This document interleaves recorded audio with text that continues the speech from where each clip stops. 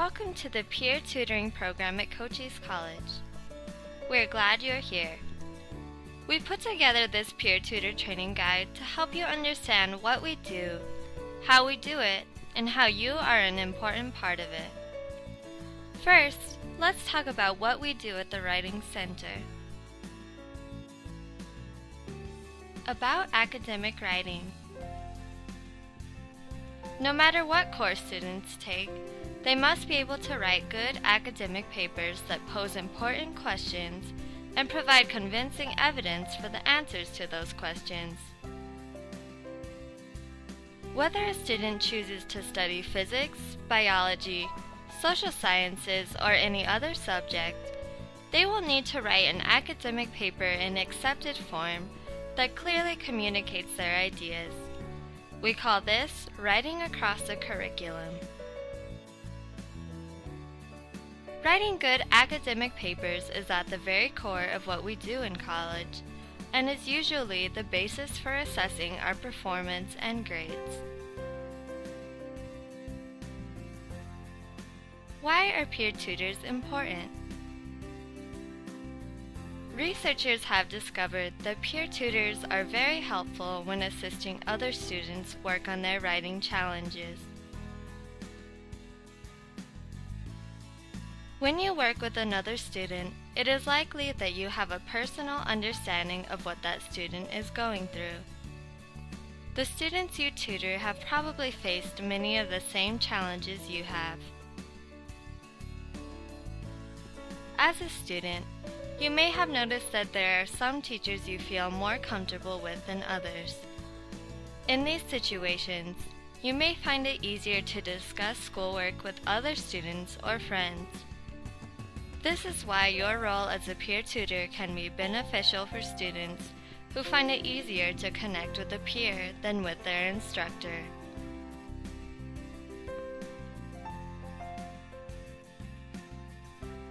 How do peer tutors do what they do? Following is an explanation of the process that our peer tutors use. Some students who come to the writing lab think that we will simply fix their papers. This is definitely not what we do. Instead, tutors help students identify where their papers need improvement and where their papers are accomplishing their purpose. After we've done that, our job is to help students develop the skills to improve their work in the future. Some students think that tutors will sit down at a computer, make corrections to students' work, and then send the student off to get a better grade. This is not what we do.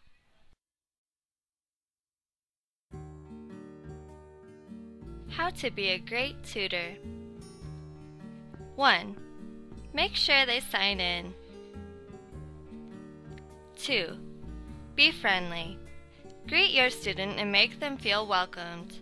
We have many walk-in students in the Writing Center who have never used our services before. 3. Gather information from the student. What class are they in? Who is their instructor? What is the assignment? Do they have the assignment description or notes on what to do? What is the deadline? How much of the project have they completed? 4.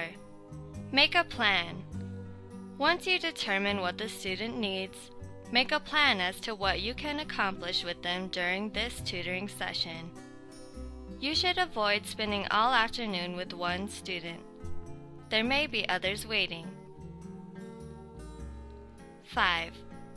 If the student has not completed any work, then find out what kind of help they needed from you. Remember, we don't write papers. Ask the student if he or she needs help coming up with ideas for a topic. You can brainstorm with them. 6. Offer to help them make an outline, but don't do it for them. 7. Find out what the student has the most trouble with grammar, ideas, ESL, punctuation, etc. Let the student come up with their own ideas. Don't make too many suggestions about what they should write. 9. Help the student organize and clarify their ideas while being careful not to help so much that they start writing what you are saying. Instead, help the student to start an outline and then tell them to work on their own for a while.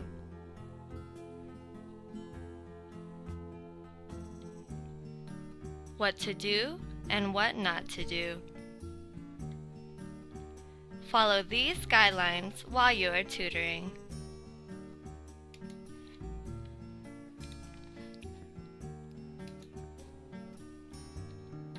Do. Ask questions to encourage students' original thinking. Read the student's paper out loud to them. This helps them to hear their mistakes. Stop when they hear a mistake and let them correct it on their paper or on the computer. Offer tips and advice on research and finding quality sources with applicable information for their topic. Praise the good aspects of students' writing.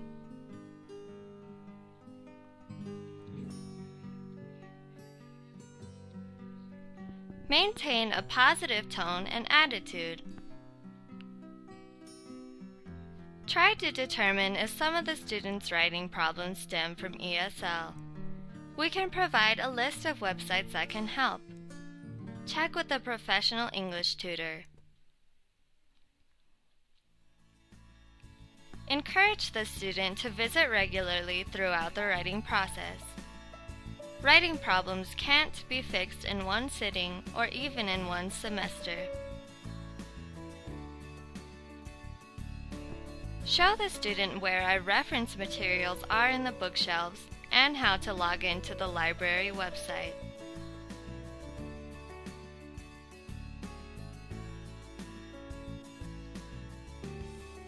Ask one of the professional tutors for help if you are uncertain about something.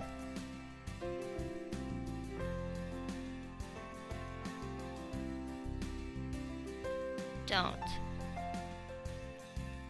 Don't do the writing or the typing for the student. They should be the ones sitting at the computer. Don't just fix a grammar or punctuation mistake without showing and explaining it to them.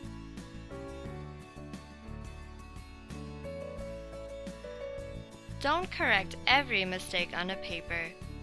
It's okay to fix some errors in a student's paper as long as you point out areas that they need to work on.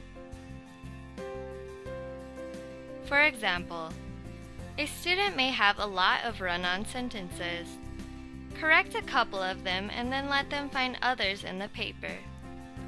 Ask them to bring the paper back to you so that you can see if they have found other mistakes on their own.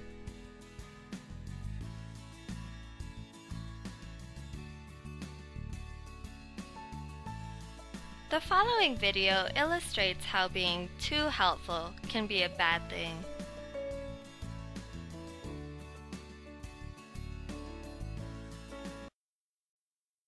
Okay. So first thing is we really need a thesis sentence. So in one sentence, write the whole idea of your paper. Thesis. So That's- thesis is just the idea of the paper in one sentence, clear, simple.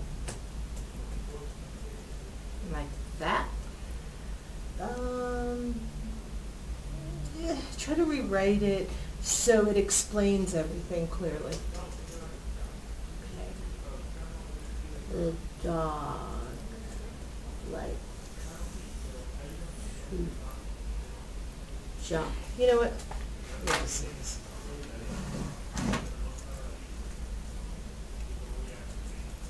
Can you uh do this?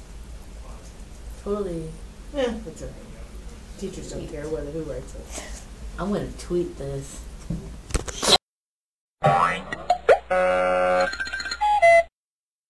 What were the problems in this interaction?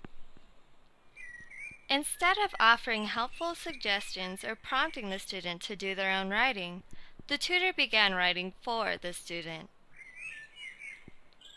The tutor was the one at the keyboard. Always make sure that the student is the one typing.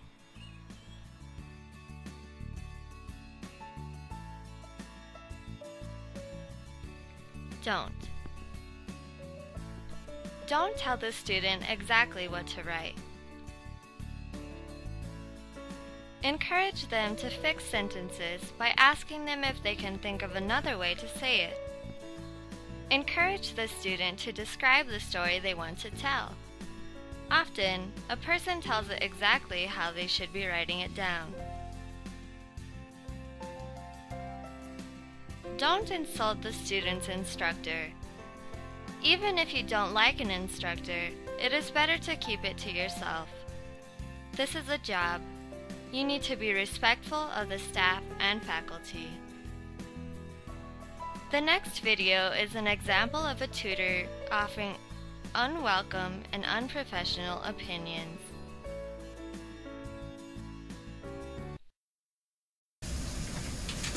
Hi, um, I need some help with my English paper. Okay, go ahead and sit down. So what teacher do you have? Um, Mr. Smith? Oh yeah, Mr. Smith. Yeah. I had him. I really didn't like him. Really? Yeah, he was so mean and really hard, and he uh, he did not give me the grade I deserved for that class. Oh my gosh. Good Well, luck. wow, maybe I should like switch classes or something. Probably. So what is Weird. it? Well, anyway, whatever. What's your Um, paper about? So, okay, so I just got started on, you know, like an outline and, and a couple of paragraphs, and this is about um, legalizing marijuana. You want to legalize marijuana? Um, well, yeah, I mean, So you're like pro marijuana? well, I don't, I mean, what's your problem with that? I mean, why though? Um, well, I mean, I started an outline here to like give the I just good think that there's not any good reasons to legalize marijuana. So Well, you know, um, I kind of have to go to class anyway, so well, thanks, I appreciate no it. problem. Okay.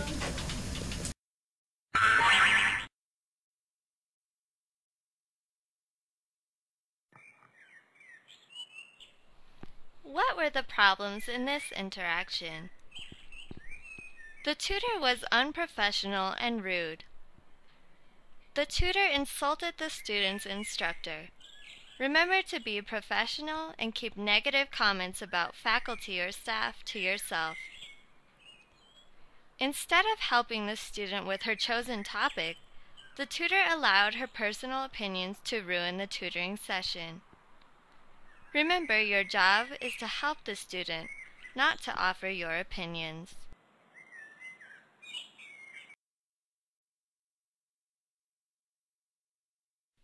Don't. Don't be overly critical of the student's writing.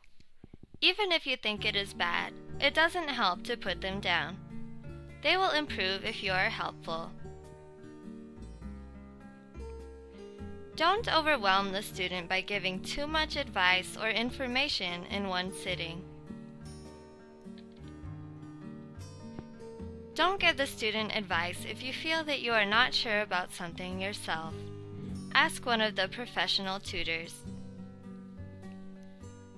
The following scenario shows a student tutor being too critical.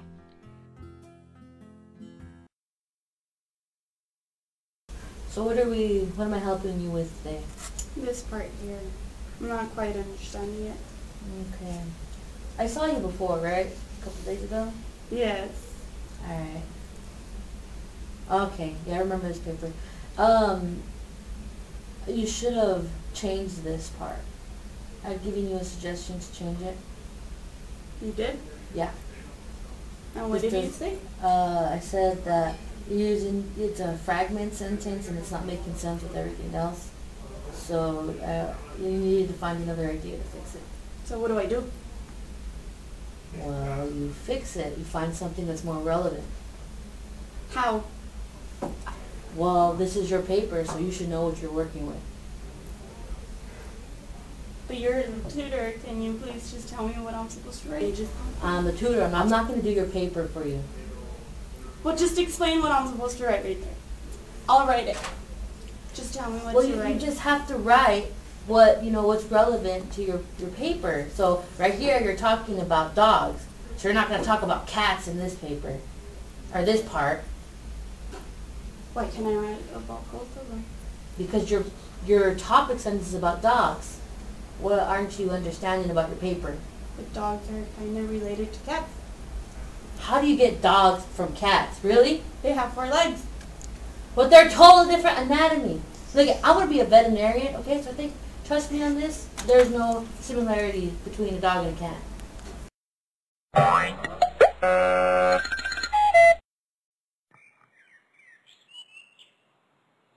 What were the problems in this interaction? The tutor was overly critical and rude. Instead of being helpful and encouraging, the tutor criticized and belittled the student. Always be patient and considerate while tutoring. The tutor didn't offer the student any constructive writing advice. Remember to praise the good aspects of students' writing, as well as pointing out areas that could use improvement.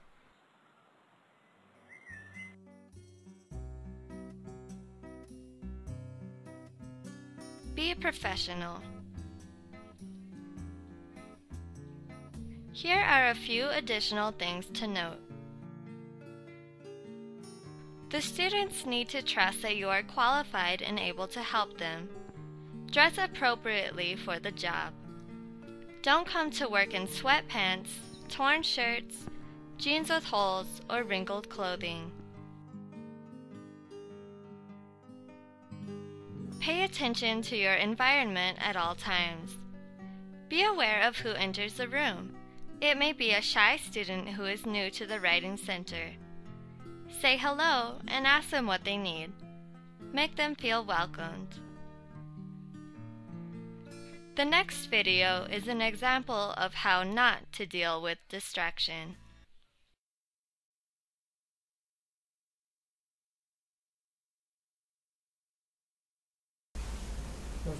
So I, I need uh, help with um, uh, APA paper. Mm-hmm. It's for my psychology class. I'm doing it on the conformity of color. Oh, hang on. Um, this is this is due this is due soon, so I really need. Wait, what'd you say? I said I'm doing an APA paper for psychology on the conformity of color. And it's due pretty soon. Oh my god, I forgot to write my rant. Hang on, hang on. I'm writing an APA paper for my psychology class on the conformity of color. You, I don't, I'm having a little bit trouble of how, how the, you know, the, you make it very distracting to try to tell you what I need help with. Wait, what'd you say? I'm right. Okay, alright, yeah. And then there should be cap. Sharon, guess what? Do you have time? Yeah. Ah, you Oh, have yeah. time. She can wait. Yeah. Guess what? We're going to Rocky Point after oh my god. Yes, we're Oh gonna my go God. the fifth, and we're gonna come back the eighth. But I need due your help. What color bathing suit should I Hang wear? on, hang on. Um, Something that stands out. You yeah, to get the well, guy's your attention. skin color, you don't want to wear orange. But I am gonna get a tan, so you, you have to Right. go with that. Red? Do you think red is a good color? Yeah, yeah, red would be good. Who are you going with? With Lori, Haida, Gabby. Do you want to go? Oh my god, There's that gonna would be all so kinds of cute fun. guys.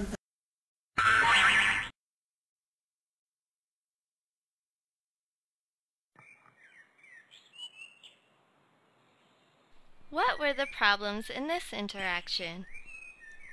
The tutor was distracted and unprofessional. The tutor ignored the student in order to talk to a friend. Don't make students wait for personal conversations, phone calls, email, etc. The customer comes first. Always give students your full attention.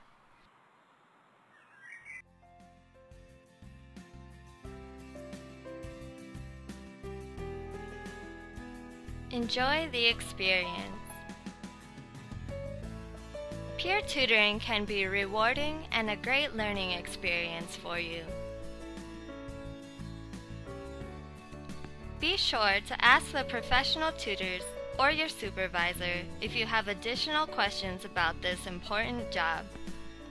We want to help you to be a successful tutor and we want the students to have a positive experience at the Writing Center.